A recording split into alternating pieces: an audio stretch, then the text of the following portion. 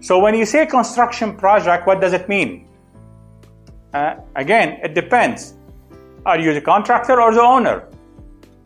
If you are the owner, there is no such a thing. There are no construction project, right? Because the project need to go over a life cycle that goes from concept to feasibility to requirement to engineering or architectural work, whatever, design, engineering, construction, commissioning, startup. Now, construction is only a stage in that life cycle.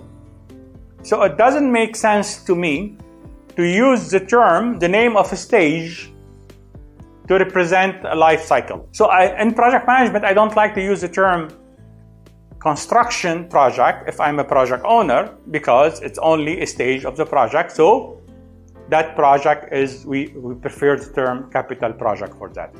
Now, however, if you are a construction company, if you are a construction company and all the only thing you do is building construction, then yeah, when a client hire you to build for them for you to, to build for them a house, a school, a hospital, technically that construction work is your project.